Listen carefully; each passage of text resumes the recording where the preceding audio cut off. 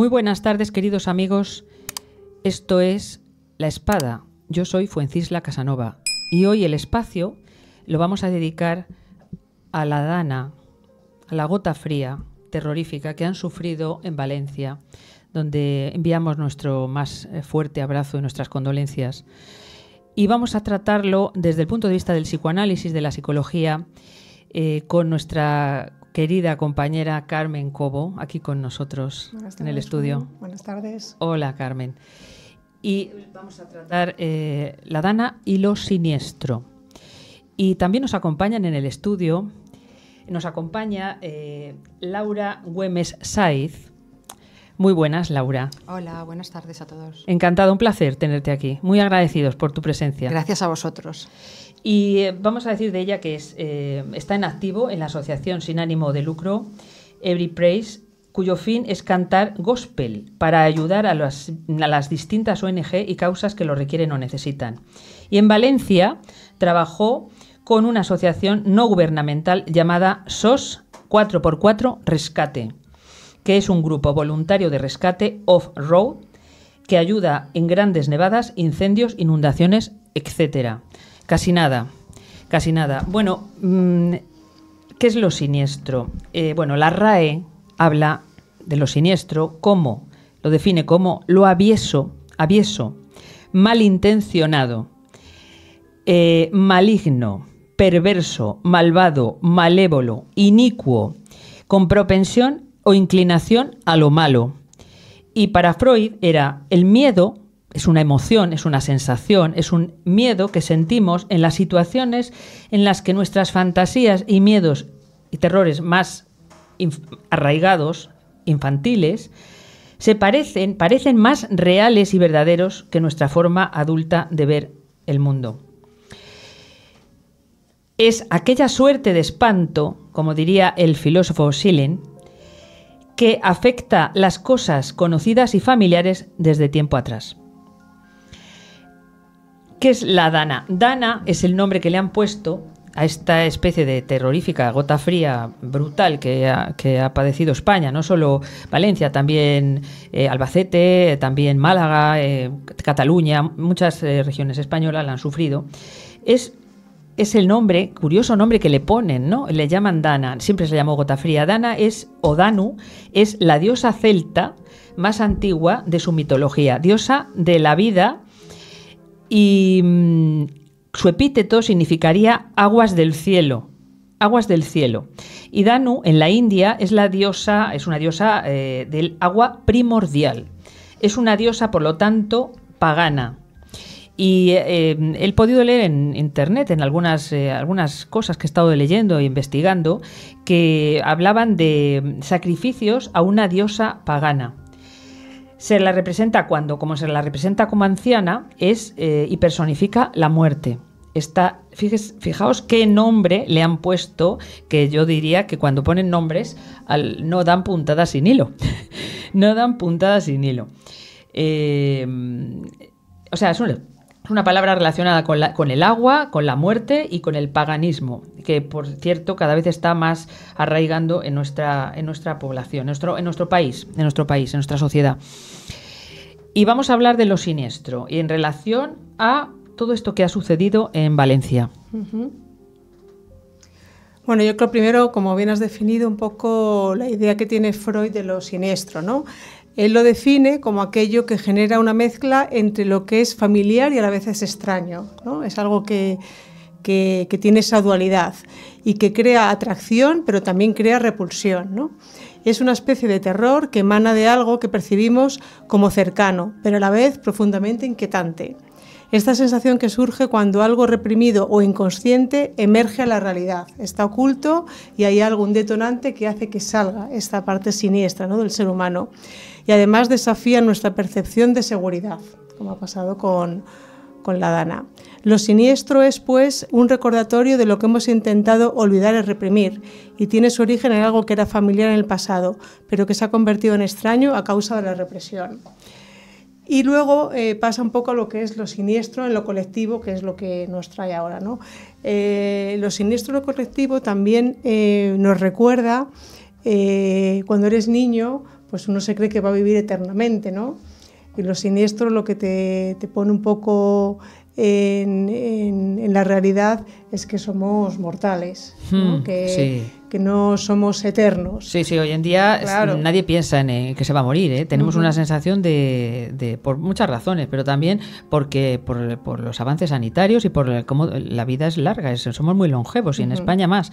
Entonces Claro. eh, tenemos una sensación de que vamos a vivir casi como que siempre muchos muchos años, una vida muy larga y con mucha seguridad, ¿no? Tenemos esa- Claro, pero ¿qué esa pasa con las sensación. catástrofes naturales? Que irrumpen de una manera muy brusca Hmm. en algo que no está pensado, no está preparado, y aparece lo siniestro porque vienen todos estos miedos, estas inseguridades que uno pues está demorando porque por esto de que piensa que, que va a vivir eternamente y cuando venga la enfermedad pues ya vendrá. Pero esto irrumpe en lo que es una normalidad. Eso es lo que produce tanto terremotos como seísmos, como tsunamis y en este caso eh, la dana eh, eh, lo que hace es que pone eh, un poco eh, un punto de realidad en el ser humano. ¿no? Si uno está, en, como dices tú, en esta nube irreal, la dana te pone un poco en la realidad, que yo creo que a lo mejor tú lo has podido ver, ¿no? Es en esos momentos en que uno se aferra más que lo importante es la vida, las cosas materiales tampoco importan tanto, lo que importa es comer, que tus seres queridos estén. Entonces también da un zarandeo a lo que es el... eh, podemos decir el espíritu del ser humano. Las seguridades que tenemos. Claro, porque lo que haces en un momento dado, eh, en un momento en el que te viene una catástrofe, es que uno pierde el control, eh, pierde la dignidad, pierde todo lo que ha, como toda su historia, toda su, su recopilación de, bienes materiales, eh, del el trabajo, la casa, todo lo que hemos estado viendo eh, en imágenes, la familia, la familia, seres tanto queridos, la incomunicación, que ahora estamos eh, eh, totalmente comunicados, como hemos hablado en otros programas, ¿no? Entonces, esto sería lo que es eh, lo siniestro a nivel colectivo.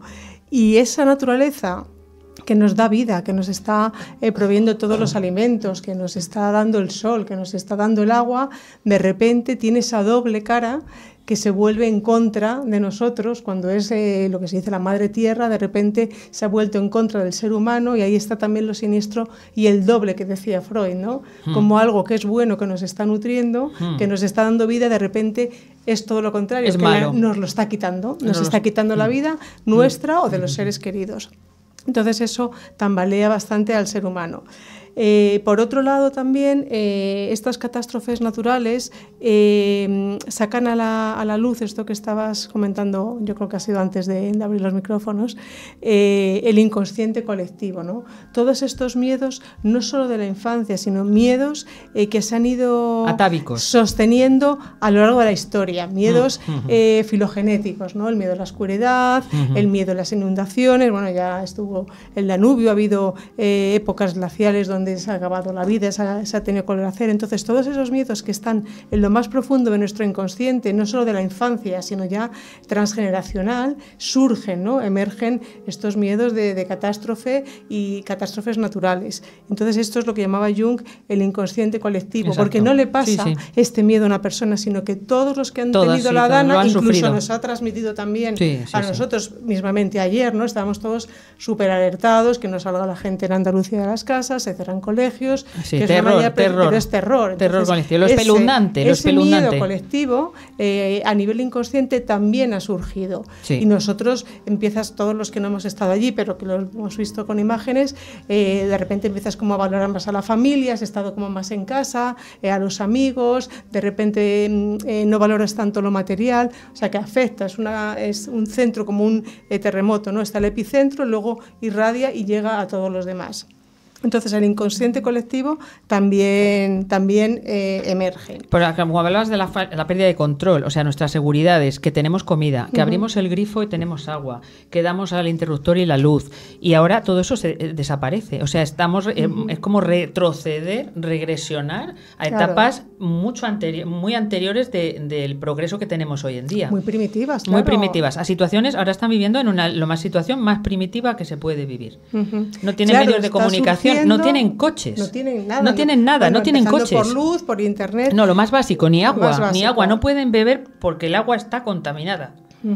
El- está contaminada, el alcantarillado está obstruido. O sea, es, es, eh, es que tenemos aquí a una compañera Laura que, que ha estado allí en la zona cero, que ha vivido situaciones terribles, dramáticas y que nosotros estamos hablando de, como dice Carmen, de algo que viene, que está en el inconsciente colectivo eh, y que se activa, ¿no? Que de pronto se activan esos terrores y, eso que lo ha vivido la humanidad en otras épocas también, ¿no? Que, ha vivido sin fuegos, las heladas. Es un zarpazo de realidad, ¿no? De, de, quitarte todo el material y sacarte totalmente de tu zona de confort, ¿no?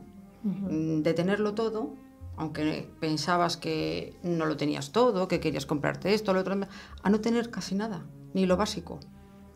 Entonces, mm, desde, son situaciones ¿no? que sacan lo mejor y lo peor de las personas, porque lo hemos visto todo en la televisión, hay gente que se dedica a robar más a la gente que ha estado afectada, a entrar en sus negocios, en sus almacenes y expoliar todo lo que han podido, y luego hay muchísima más gente, gracias a Dios, que ha hecho lo contrario, que se ha cogido, se ha remangado mm, y se ha ido a ayudar. Eh, eso lo digo más que todo por la juventud, que decíamos que era la juventud de, del desapego, de incomunicación, de tal, y nos han dado una lección, vamos, eh, para aplaudirles. Pero, pero sobre todo es un zarpazo de realidad de que nos damos cuenta de que con nada venimos y con nada nos podemos ir. Así o sea, nos vamos. En el camino podemos dejarnos muchas cosas, como les ha pasado esto, que tiene a estas personas que tienen que volver a empezar. La mayoría de ellos tienen que volver a empezar. O sea, hablabais de lo básico. No hay ni inodoros, porque la fuerza del agua los ha reventado. Es que nosotros los voluntarios queríamos ir al servicio y habían habilitado en, los, mm, en las zonas de, de, la planta baja, ¿no? de, la zona de calle, que era donde nosotros estábamos, en mi caso trabajamos casi todo calle. Algo fuimos a casas a llevar comida, pero casi todos nos dedicamos a habilitar una plaza para montar un hospital de campaña, eh, montar también un banco de alimentos, un banco sanitario y demás. ¿no? Pero eh, lo que te digo, algo tan simple como poder ir al servicio, pues tenía que ser encima de unos, de unos tableros o, de unos eh, ladrillos y ahí estaba puesto un inodoro a oscuras. O sea, algo tan simple como eso. Entonces ahí es donde te das cuenta que es que mm, ni lo básico. O sea, hablabais de, un estado primitivo tremendo, porque tú vienes y algo tienes, tienes el cariño de tus padres, pero las personas que han perdido todo, que han perdido negocios, que han perdido familia, que han perdido la casa, que han perdido el coche, que no olvidemos que el coche cuesta muchísimo pagarlo, ¿eh? durante muchos años. Tienen que estar pagando algo que no tienen. Y que las aseguradoras, por desgracia, no les van a dar ni un 30% de su valor. Porque muchos de nosotros tenemos coches viejos que, que, nos hacen el servicio igual que si fueran nuevos, pero te le dan siniestro total y ¿qué es lo que te dan? Pues una parte muy pequeña de lo que el valor del coche supone para ti. Entonces, pues bueno, eso es, eso es lo que te encuentras allí. Te encuentras que la gente mm, no tiene agua, que estás eh, trabajando con el barro y no te puedes apenas ni lavar. Te encuentras que estás pisando encima de barro donde hay clavos, hay escombros, hay cristales, hay mm, en algunos casos hasta desechos en bolsitas porque la gente no tiene dónde, dónde echarlos.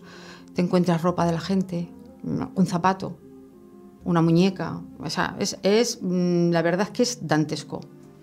Porque mm, parece una zona de guerra. Una zona de guerra. Una zona de guerra. O sea, es. Yo miraba a mi alrededor y decía, pero esto parece cuando sale en la tele Irak o Irán, estos sitios que son bombardeados y que son algunas calles son verdaderos mm, cúmulos de, basura, de basura, de escombros, de desechos, mezclado con el barro, que además es un elemento que es muy difícil deshacerse de él, porque, mm, vale, lo barres, lo sacas, ¿dónde lo pones?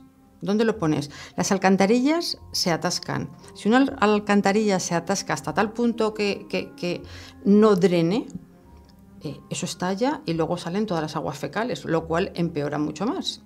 Pero tú vas quitando a paladas, alejándolo de la zona donde más molesta, pero cuando limpias, cuando barres, cuando pasas luego una manguera eso se va lavando. El barro es una cosa que no se disuelve tan fácilmente, que necesita muchas aguas.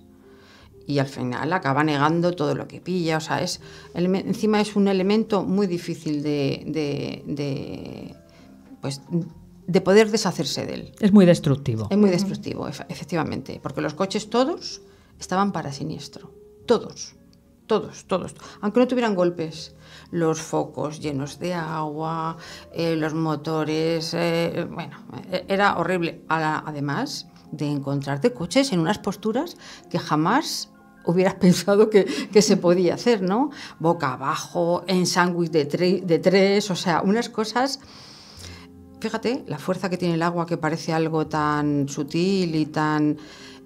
que em, entre 10, 15 personas, porque claro, que llegue una grúa y a echar... Yo he ido a los ocho días de haber ocurrido esto, pero fuimos un día de diario porque sabíamos que entre diario iban mucha menos gente a ayudar, pues la gente tiene trabajos y tiene obligaciones. Y la solidaridad todavía no está muy, eh, bueno, muy reconocida en los trabajos, ¿no? Eh, entonces fuimos un día de estos y, la verdad es que mm, las grúas, apareció una a última hora de la tarde. Eh, entonces, para mover un coche, éramos 10, 15 personas levantando a pulso para colocarle un poco de manera que pudieran pasar los coches aledaños para poder surtir el hospital, los bancos de alimentos, que por lo menos la gente de la plaza pudiera moverse, salir y entrar de, lo que era su, su entorno, ¿no? y no podíamos. Y sin embargo el agua lo que ha hecho es pues una brutalidad. O sea, es lo que hablabais hace un momento, ¿no? El agua, un bien tan necesario, se convierte en un bien destructor. El defecto y el exceso. Nos quejamos de la sequía y viene una cosa contraria, ¿no? Bueno, hay que prepararse, hay que prepararse, porque lo que yo decía de los, de los, los niños tienen el temor de ser abandonados, siempre todo, todo niño tiene un poco miedo ¿no? del abandono, del desamparo, pero en un, en, un, país occidental como el nuestro, europeo, es chocante porque eh, pensamos, puede ocurrir algo, puede pasar alguna cosa, ¿no? Eh, un terremoto, que estamos en zona sísmica, ¿no? por ejemplo, pero confiamos que, que nuestras instituciones van a socorrernos van a, van a auxiliarnos. Y, sin embargo, aquí lo que se ha dado es el desamparo. Por eso es una sensación de, espeluznante, de, de, siniestro, de la fantasía infantil inconsciente del desamparo se ha hecho realidad, ¿no? Se ha disparado la pulsión de muerte. Exactamente. En la que nos movemos. Sí, sí, sí, el ser humano se mueve la pulsión de vida y la de muerte el Eros o el Tánatos y se ha disparado totalmente la pulsión de muerte. Entonces es el abandono, los miedos, todo apocalíptico, eh, depresión. Yo no sé, Laura, si tú has visto a nivel emocional eh, o sea, si la gente estaba con fuerza, que no da tiempo que les venga eh, el drama, o tú has visto a alguien que estaba, porque claro, normalmente todos tenemos a lo mejor, si la vida va bien, pues uno puede tener ansiedad, depresión, no te pasa ningún evento así como muy mm, eh, fuerte y puedes pasar la vida. Pero claro, si tú tienes ya esa base y ante un hecho como este tan catastrófico, que es un detonante muy fuerte para que salga una ansiedad, para que salga una depresión, incluso creo que me he oído ideas suicidas en algunas personas. si tú lo has visto, si tú lo has eh, palpado. Yo he percibido un poco todo, pero algo muy sorprendente y muy positivo es que eh, la gente está sumamente agradecida a las personas que van a ayudar. Y algunos de los voluntarios le decían, pero ¿cómo estás así, con ese ánimo? Y te decía, ¿y qué puedo hacer? Si llevamos ocho días así y, la única ayuda que estamos percibiendo es la vuestra, ¿qué podemos hacer? Pues tirar para adelante, dar gracias a que ningún familiar, todos tenemos a alguien que ha sido eh, abofeteado por esto en mayor o menor grado. Dice, pero no podemos hacer nada más. Mm, mm. Terminamos nuestros trabajos y nos, se pusieron a cantarnos canciones de agradecimiento en valenciano, son eh, barrios eh, que tienen asociaciones de fallas, ¿no? Entonces nos cantamos las canciones de su falla, venir a las fallas, por favor. Y yo decía, madre mía, no sé cuántas fallas tenéis que pasar. Quisiera decir una cosa, perdona, eh, cuando esas personas que decían venid a las fallas y que parecía que estaban, que, lo estaban, eso es, eso es un estado psicótico de superación. Sí. Es un mecanismo psicótico de superación. Es un, es un, están en estado de shock y están negando la realidad porque están tan eh, tremenda y tan dolorosa y tan terrible que la están negando. Eh, llegará día, es que lo que viene ahora, que en eso hablaremos en otra cápsula, este no es el objeto de esta cápsula, pero eh, lo vamos a abordar, ¿verdad? Que sí, Carmen, es un ¿te mecanismo parece? de defensa. Es un Sí, mecanismo de es, defensa. Se es. están La defendiendo de lo muchísimo sí. que están sufriendo. Claro. Es un sufrimiento imposible de, de medir, de calcular. Y entonces ver pasar cadáveres.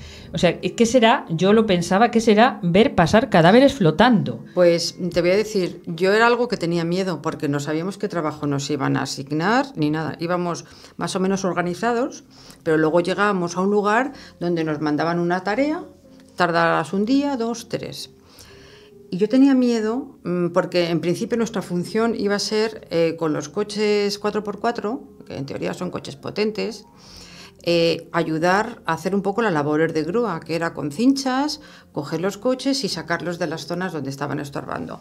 Pero vieron más necesario primero limpiar las calles para poder mover los coches. O sea, que es que, es que, hay que parece mentira, pero hay pasos, pasitos, pasitos, que son los que hay que dar para llegar luego al fondo de la cuestión, ¿no? Y yo tenía miedo encontrarme en algún coche algún muerto o algo así.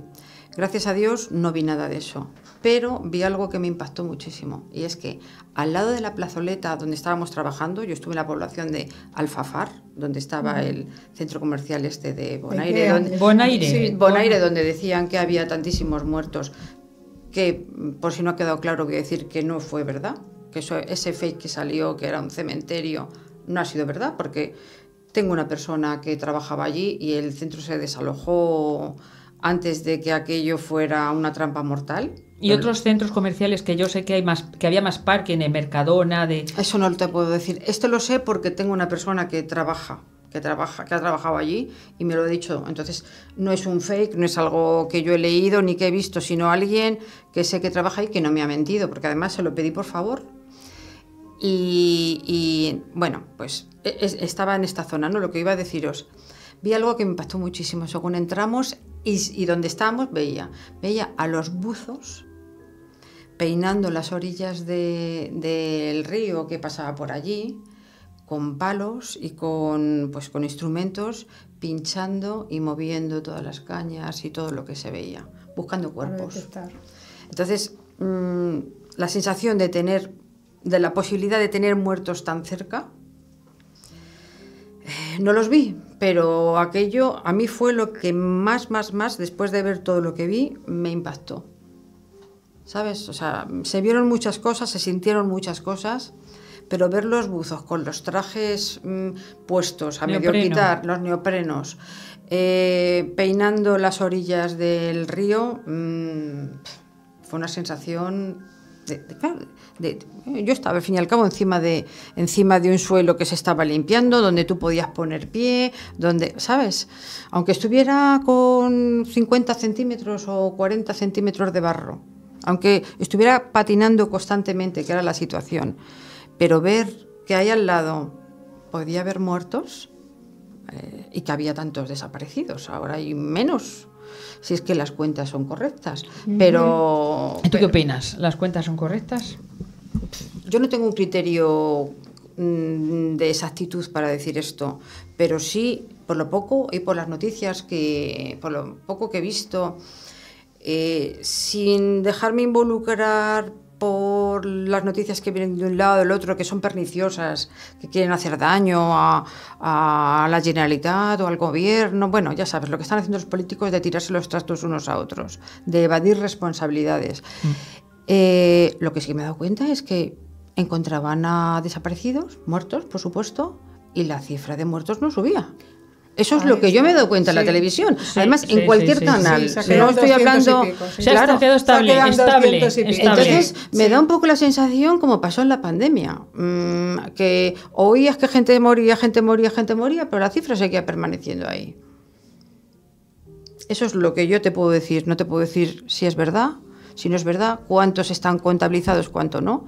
Pero yo he visto que los desaparecidos han ido apareciendo y han ido siendo identificados, los que se ha podido y los que no aparecerán, claro. Pero la cifra de, de muertos se mantiene en, en más o menos la misma cantidad. No lo entiendo. No lo entiendo. Imposible. Y no se Claro. corresponde tampoco con todo el desastre, todo el destrozo que se ha producido. después y el área tan amplia, Sí. tan amplia que ha abarcado la catástrofe. Claro, estamos hablando de las Islas Baleares enteras. O sea, mm, no pueden ser doscientos y pico. mm, con eh, eh, lugares que el agua ha subido tres metros, que se veía el nivel del agua. ¿Tres metros? ¿Quién se puede salvar viviendo en un. estando en la calle, estando en un coche? Porque eso también os acabo de decir, que en Bonaire, mm, por conocidos, creo que no murió nadie. Pero la gente que salió de Bonaire, de Bonaire con sus coches, mucha debió de morir. Porque fueron. Arrollados. Fueron arrollados por el ¿cuántos agua. coches Por la dicho? tromba. ¿Cuántos coches Pues han hablaban dicho de, de- hablaban de dos, de dos pisos de Sí, subterráneo. pero ¿cuántos coches han dicho? ¿40.000? O? O sea, si tú pones todo solo con los coches, ahí ya tiene que haber un montón de muertos. Un montón de muertos. Solo con los coches, más la gente es una hora que la gente estaba en casa. Y- y se veía Las que de la iban- tarde o volviendo Sí, del sí, trabajo, pero los niños estaban en las casas Sí. eh, ya haciendo sus deberes. Era un martes. Es sea, pensar con lógica Es- y que se ha visto en claro, muchas imágenes claro. eh, coches con conductores. O sea, los Hombre. coches les- a los conductores ¿Dónde les han ha pillado la- las riadas. ¿Tantos coches? ¿Dónde iban esos conductores? ¿Dónde se han metido? Pero sí ha aparecido gente a 40 kilómetros muerta, ¿no?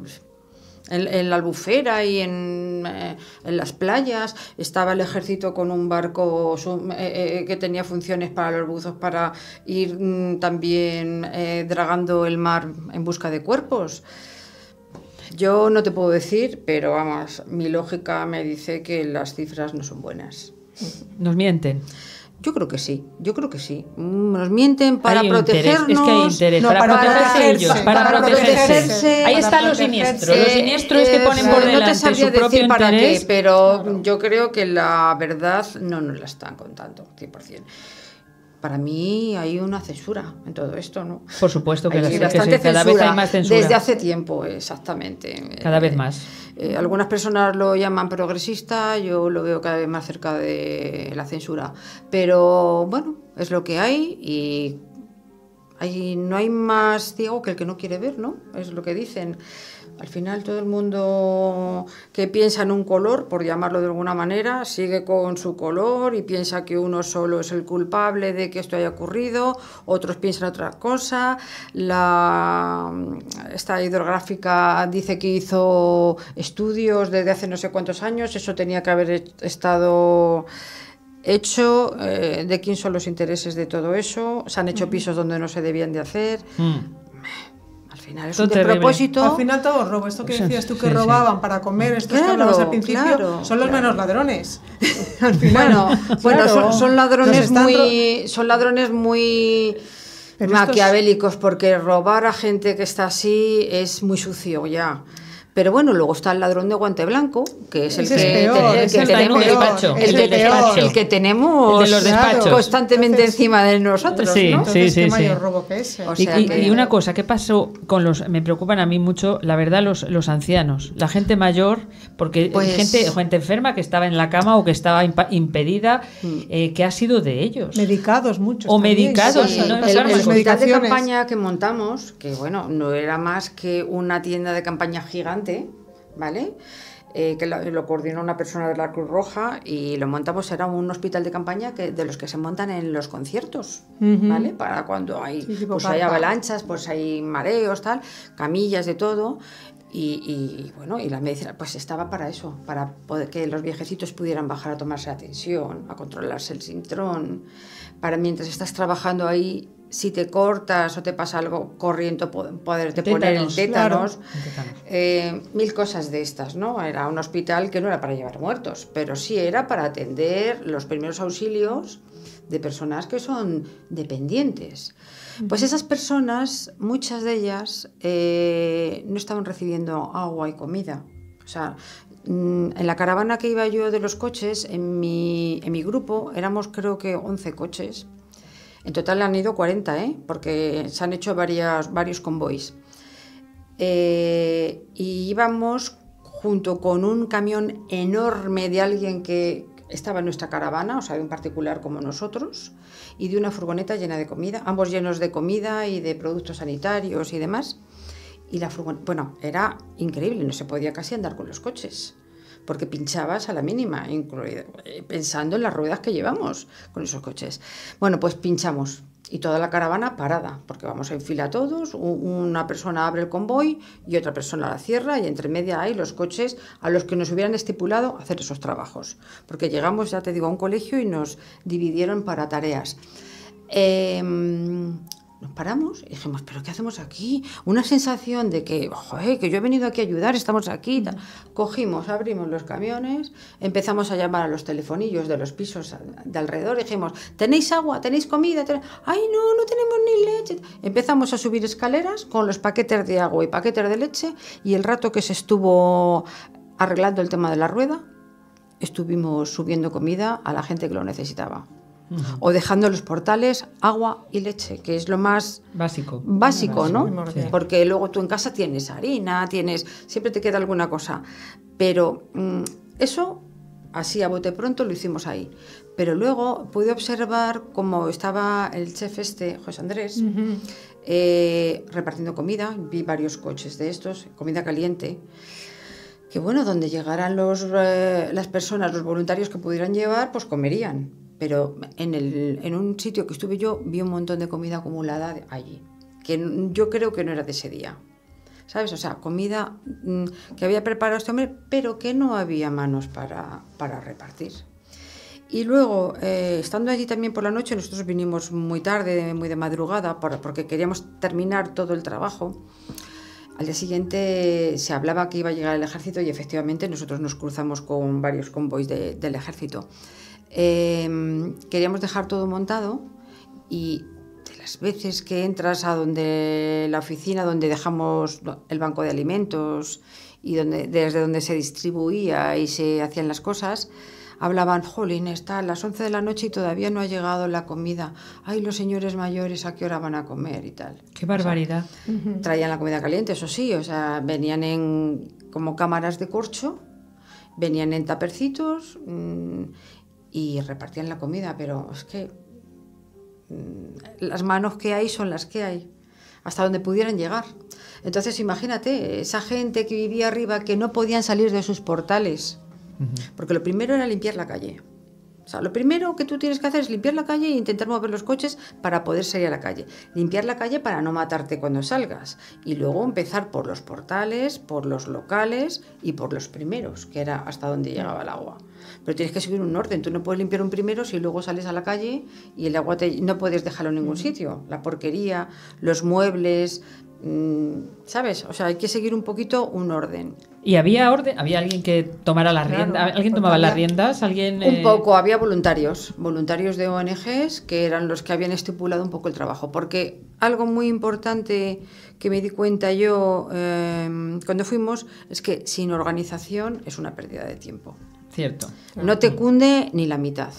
Entonces, nosotros antes de ir procuramos ir con alguien que supiera del tema, que ya hubiera hecho algún viaje, que, que nos dijera qué podíamos llevar. Íbamos, nosotros, en mi caso, íbamos con el coche cargado todo de material higiénico sanitario, guantes, alcohol, mascarillas. Otros del convoy iban llenos de palas y de botas de goma otros llevaban comida, otros llevaban cuerdas, o sea, cada uno aportaba un poco lo que pudo. Yo tuvimos suerte de que em, en el grupo nuestro había también eh, guardias civiles que en su día de descanso iban a trabajar.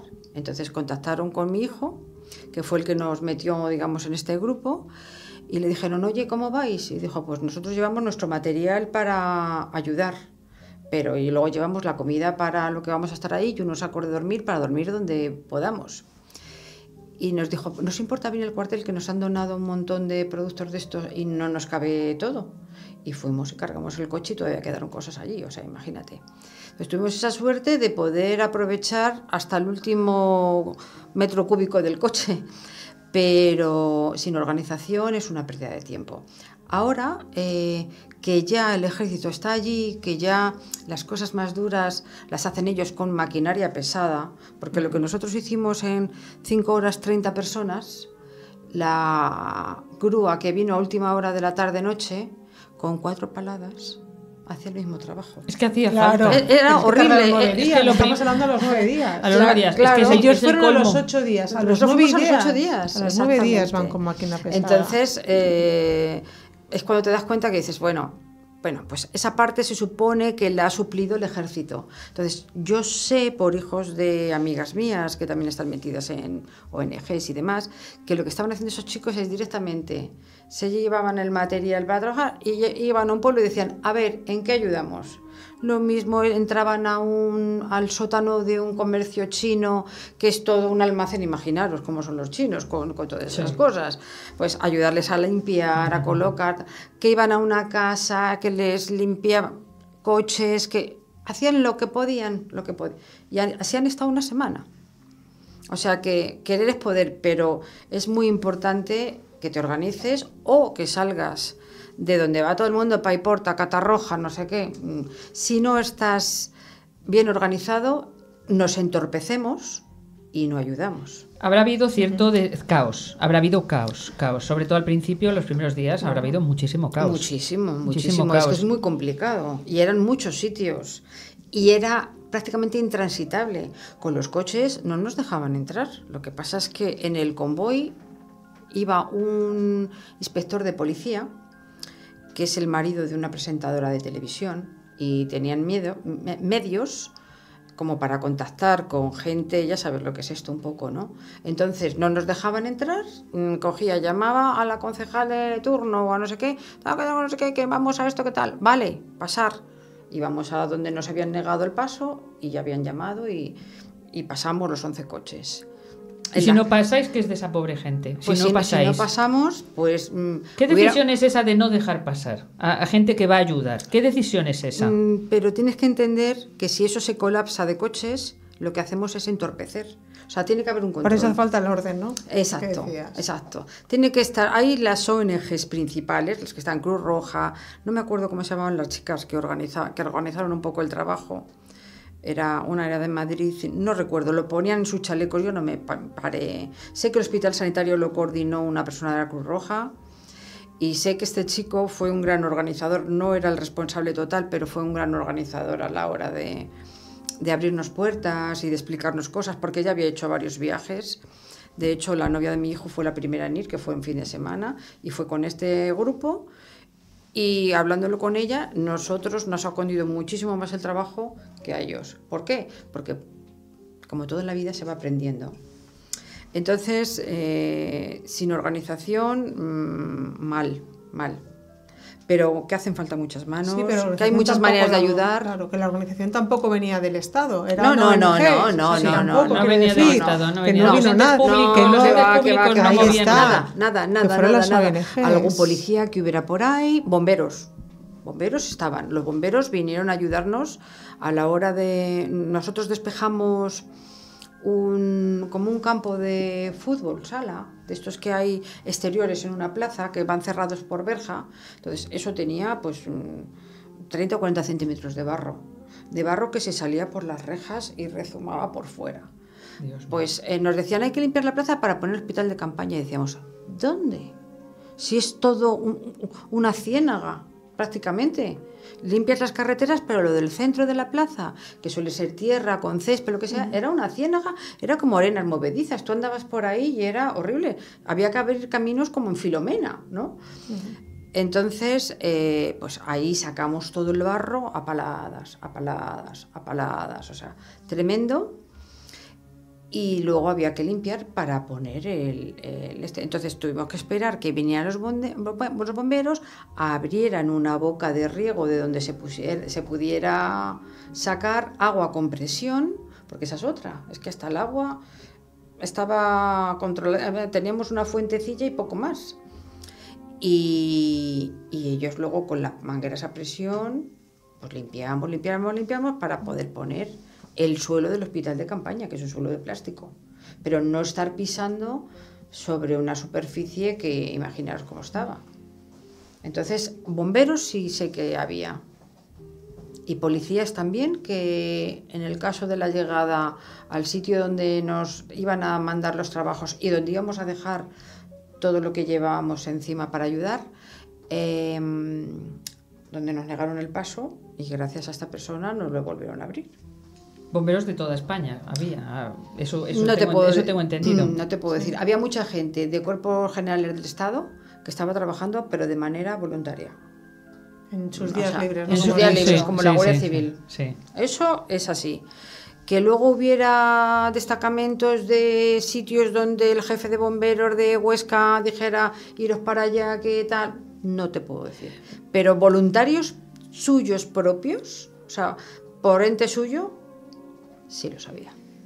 Pero ese, ese desamparo, ese desamparo lo que hace, eh, eh, genera este sentimiento de lo que hablábamos, ¿no, Claro. Carmen? de, abandono, de, de agonía, impotencia, lo siniestro, lo- impotencia, el- lo siniestro, lo sí, siniestro. eh, lo tanático.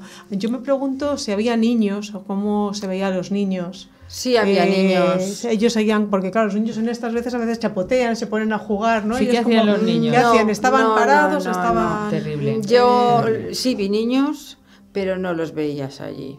O sea, no, no les veías andar por ahí. Es que el barro ese era muy sucio y el olor era, no era olor, era hedor. Sí. Entonces no era un lugar No para saludable. niños. Si los niños estaban protegidos en sus hogares o en los hogares de alguien que les hubieran dado un sitio de acogida, no estaban ahí. Los veías porque bajaban a algo, o a lo mejor bajaban a por cazor de agua, o porque iban a, yo qué sé, algún sitio que tuvieran que ir, o iban al banco de alimentos. Mm, Que eso también se veía, ¿no? Que les mandaba la madre al banco de alimentos, vete a por agua, o vete a por a ver si tienen mascarillas, o qué sé yo. No era un lugar de juego para los niños, ni mucho menos. Ni un sitio donde se vieran los niños campar a su... No, no lo era. Los ves porque, porque están por ahí, porque algunas madres... Lo que se veía era mucha juventud con ganas de ayudar, eh, que, que contagiaba, que alentaba, que daba incluso hasta alegría. Y que al final, pues bueno, te pones como una coraza y dices, a ver, mira, a trabajar y ya está. Y te entra como un espíritu de, pues de, de ganas de ayudar. ¿Cuándo creasteis esta asociación vuestra de 4x4?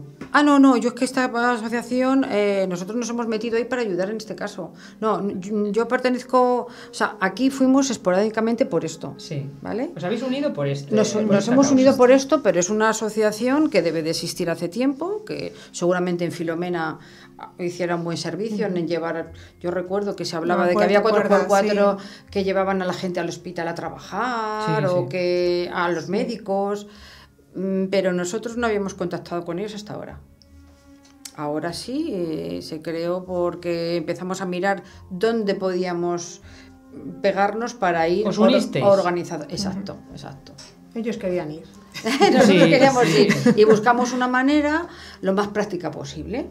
¿Y, y qué os movió a ir? ¿Qué, qué- Pues nos movió. ¿Qué pensabais? eh, ¿Qué no- pensabais? no- pues que pensábamos, que pensábamos que era una catástrofe brutal. Empatía. Empatía porque. Lo que le falta a las autoridades. Le, le Pues falta sí, empatía, pues sí. compasión, la, la compasión. Empatía, compasión, eh, eh, hermanamiento, eh, Solidaridad. solidaridad. Es que son españoles como nos, nos puede pasar a nosotros también. Es que, Claro. es que, es que no pasar. sabes lo que puede pasarte mañana. Sí. Y visto lo visto, que si la filomena, que si la pandemia, que si no sé qué, mm, ¿qué más? ¿Qué más? Pues igual mañana necesitamos nosotros, hay un seísmo como pasó en Lorca o como... Si hay que ir a ayudar, sobre todo si tenemos este gobierno tan pazguato, tan eh, aferrado a su silla, tan preocupado por de quién es la culpa en vez de, de la practicidad del momento, ¿no? Es la calidad política que tenemos, la que... Y tú, Laura, con lo que has visto, ¿qué, qué crees que les espera de ahora en adelante? Ah, ¿Qué, qué- qué les- qué le va a pasar a esa zona o qué crees tú? Porque alguien me decía ayer que, que la gente allí va, y- eh, va a emigrar porque no van a poder estar tranquilos. O sea, la, la sombra del miedo de los siniestros les va a perseguir, les va a perseguir eh, en adelante, ¿no? Hay veces que uno tiene que reinventarse, ¿no? Ya lo hablo también Víctor Frank, ¿no? Tiene que sacar como algo nuevo de él y sí que es verdad que tenemos esa capacidad, ¿no? De, de regenerarnos, de reinventarnos, de, de tirar para un adelante. poquito. Eh, a veces es La memoria- necesario, o sea, se va a quedar, ¿no? Hay gente que se le va a quedar, pero el poder esforzarte por hacer algo nuevo o diferente es lo que te sana también. Sí que es verdad que para eso falta, ¿eh? Falta. No sé si lo habéis oído, ni tampoco sé dónde lo he oído, o si lo he leído en redes sociales, o lo he visto en algún programa de estos múltiples que hay en televisión que ahora están a todas, a todas horas y en todo momento. Pero hablaban de los niños que lloraban, que lloraban porque oían la lluvia o oían el ruido de la nevera, mm, no sé por qué, les parecía que era como la lluvia y tenían miedo a que volviera a darse la misma situación. Claro, ese miedo es traumático. Los, niños son los más, porque al final los adultos han tenido una infancia más o menos a lo mejor tranquila, eh, han tenido sus dramas, pero el drama de un niño deja mucha más huella que en un adulto, porque el adulto ya ha tenido una experiencia de vida, pero el niño se va a quedar con, con ese drama, con ese drama. Sí, sí, sí, van a quedar no muy, tienen su espacio psíquico, como hemos hablado muchas veces, pues no, tienen esa capacidad. Creo que va a pasar. Sí, ¿qué crees que va a pasar? Pues creo que va a pasar eh, que ahora va a haber mucha pelea, mucha ayuda, mucho tal, pero cuando haya otra cosa que tape esto, serán mm, olvidados, olvidados, como ha pasado en La Palma, como ha pasado en Lorca, Lorca y en muchísimos sitios. Por desgracia, hombre, Valencia es un sitio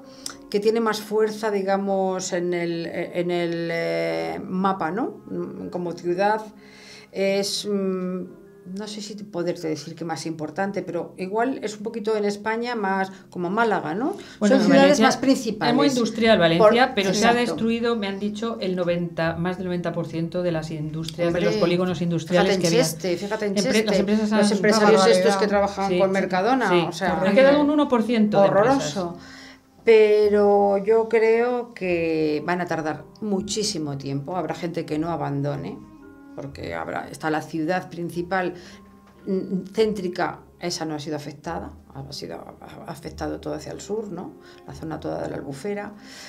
Igual tenemos suerte y por fin hacen esos planes hidrográficos de, rehacer esos planes que había para que la zona no vuelva a mm. pasar esto, ¿no? Sí. Igual hay suerte y ejecutan alguno de esos planes. Si no los ejecutan, si no los acometen, el futuro es negro para, para esa zona. muy negro, muy negro y, un empobrecimiento total, porque por mucho que te ayuden, los estamentos y que digan que no hay que devolver esas ayudas y que tal, yo desconfío mucho. Pobreza. Y con eso no salen adelante, es como un pan para, para mañana. Se sale trabajando día a día pobreza, miseria, enfermedades y un duelo, porque ahora están en el shock, en shock no pueden todavía entrar, pero un duelo que van a entrar muchas personas y que van a necesitar ayuda psicológica, pero mucha, mucha, ayuda psicológica porque lo emocional eh, iba a impedir eso que tú quieres, que yo creo que es así, que, el ser humano tiene lo mejor que tiene que sacar de sí mismo, pero tiene que hacer el duelo, tiene que hacer el duelo por todo lo que se ha ido, que es, que es una vida, una vida. Muchísimas gracias, Laura, por, por venir, pero sobre todo por haber ido allí. por haber ido y por escucharme. Y me gustaría decir, si no te importa, sí, adelante. que yo con mi asociación sin ánimo de lucro, lo que has mencionado al principio, que cantábamos para ayudar, vamos a hacer un concierto Sí, eh, ¿dónde? para sacar. Eh, la iglesia se llama Santo Tomás Moro, está en, en Majadahonda. Eh, y vamos a hacer un concierto el día 20 de diciembre a las 8 y media, cuyos beneficios son para el Caritas Parroquial para invertir en, ayudas a la dana. Ya sabéis, el concierto el 20 de diciembre, ¿a qué hora?